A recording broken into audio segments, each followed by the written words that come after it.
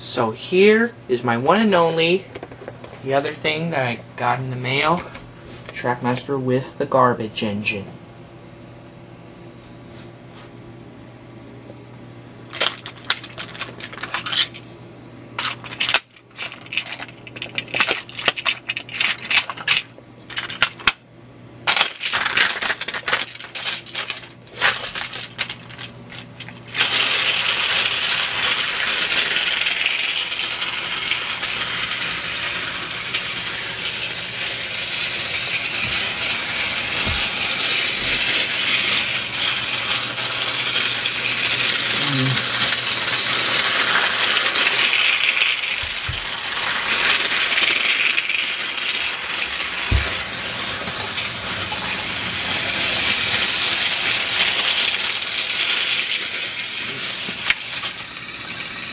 Whoops.